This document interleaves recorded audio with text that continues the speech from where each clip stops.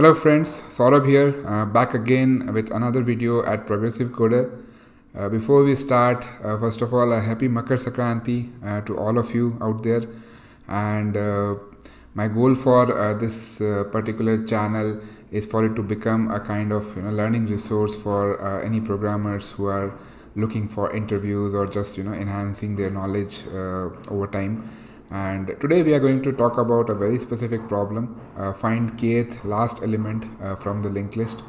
Uh, so this problem we are going to utilize one of the techniques which we also saw in the uh, previous video on this channel. Don't worry i'll be getting into that technique again. Uh, so but if you want you can watch out uh, the previous video as well. But today we are going to talk about this specific problem. And yeah if you have not subscribed to this channel uh, till now i would urge you to go ahead and you know click on the subscribe button. Also don't forget to uh, press the notification button because that way uh, as soon as we post a new video you will get instantly notified by youtube. So right uh, with that said uh, we will start with discussing about the problem. Alright so before we go any further uh, let's understand what a linked list is uh, so a linked list is a collection of nodes where each node points to the next node. So if you see the example on the screen, uh, we have uh, the node 1 pointing to node 3 and node 3 is pointing to 5, 5 is pointing to 7 and 7 is pointing to 9. And this is how a linked list maintains its structure. Each node knows about the next node. And uh, this is a singly linked list because uh, the pointers are only one-sided. So 3 would not know about its previous node, for example, over here. Uh, and a linked list also has head element. So in this case, the head is uh, the first element, that is 1.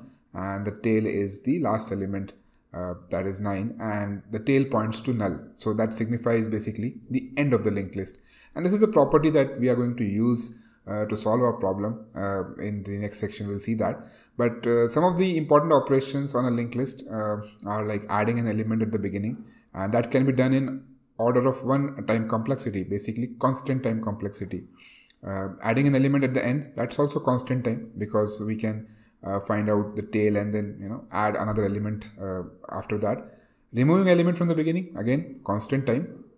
The only thing here is uh, when we do a removing of, the, of an element from the end of the linked list, then it takes linear time complexity. So if we want to remove the tail, for example, we have to traverse through the linked list, reach element 7 and only then we can carry out the operation successfully.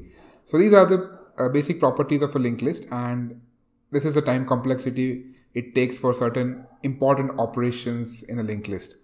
Uh, in the next section, we'll look at the problem which we are trying to solve.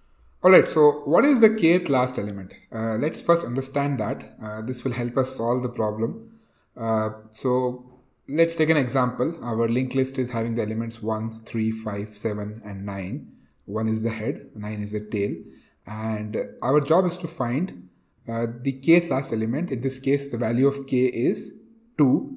So how will this statement read in that situation? It will read like what is the second last element? Uh, which means that you have to find the element 7 because 9 is the last element, 7 is the second last element. Let's take another example. Uh, this time our value of k is 3. So this means what is the third last element? And in this case, the last element is 9, the second last element is 7, and the third last element is 5. Uh, so our job is to find this particular element. And uh, the main thing that the interviewer is looking for when asking this question is that can we do this in single pass? Because otherwise it is pretty easy. Uh, you can you know count the number of elements in a linked list, and uh, then you can uh, traverse, uh, have an index uh, and traverse to the list and stop at the particular index which you want to. All right, that is possible. However, to do it in single pass, this approach is not going to work out because we are iterating through the list potentially two times. So the main thing that the interviewer is looking for is can we do it in one pass and that is what we are going to try to solve in this particular problem. Alright, so time to look at the uh, solution to the problem and uh, uh, we'll work with the same example linked list 1, 3, 5, 7 and 9. 1 is the head, 9 is the tail and in the first example, our job is to find the second last node. So the value of k is equal to 2. And as I discussed in the uh, earlier part of the video, uh, whenever we have uh, we have linked list, you know, single pass, all these kind of things coming into the picture, uh, we can use this tiny little trick of using two pointers. We have already looked at uh, problems in the past where we used two pointers to traverse through a linked list in single pass to do some objective. And this time also we are going to use the same technique. So this time in the beginning, both our pointers are going to point to the head of the linked list. That is, they are at the same place, uh, pointing to node 1. And the trick here is that we are going to move the second pointer two steps ahead. So we will move the second pointer to 3 and then to 5. And pointer 1 stays at the same place, pointing to the head of the linked list. No change over there. Now that our pointers are in place, we can start iterating through the list using both the pointers. So which means that we are going to move pointer 1 to 3 and pointer 2 to 7. And the key condition over here is that we'll keep this traversal going on till the second pointer reaches null. So at this point we can see that pointer 2 is at is at node 7 which is not null. Uh, so we can keep on uh, continuing the iteration. Uh, so in the next iteration pointer 1 reaches 5, pointer 2 reaches 9 which is a tail of the linked list.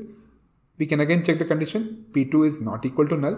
So let's iterate again uh, so now we move pointer 1 to 7 and finally pointer 2 is at null which means we have reached the end of the linked list.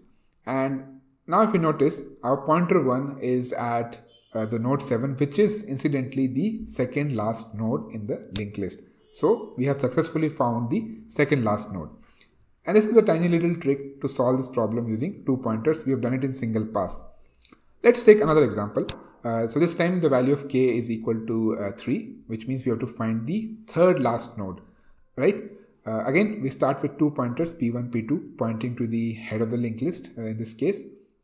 And as we did last time, p2 this time will move three steps ahead because the value of k is equal to 3. So we'll move p2 uh, to element 3, then 5, and finally to 7. Now that both the pointers are in place, we can start iterating through the uh, list using the same condition until p2 is not equal to null. Uh, so uh, we move uh, both the pointers one step ahead. So p1 reaches 3, p2 reaches 9. We will check if p2 is uh, is equal to null. No, it, it, it isn't right now. We are pointing to 9. Uh, so let's iterate again. So now p2 reaches null and p1 is at 5. So we can terminate the loop and what we see over here, p1 is at the third last node in the linked list. So basically we have again managed to find out the uh, element that we wanted to check in a single pass. And this is all there is to this problem if you use two pointers uh, and you know we can do this problem in single pass which makes it really easy. Uh, so no matter what is the value of k given to you, uh, you just have to iterate uh, p2 initially to that position and then once p2 reaches the end of the list your first pointer is going to point to the uh, kth last node in the list. Uh, so friends, this is all there is to this problem. Uh, hope you liked this video. Feel free to comment in the comment section below. Also don't forget to subscribe to the channel. We are going to look at various more problems like this in the future. so please subscribe and also press the notification bell icon because that will help you get instant notification whenever we upload a new video. Uh, with that said, uh, have a nice day everyone. Goodbye.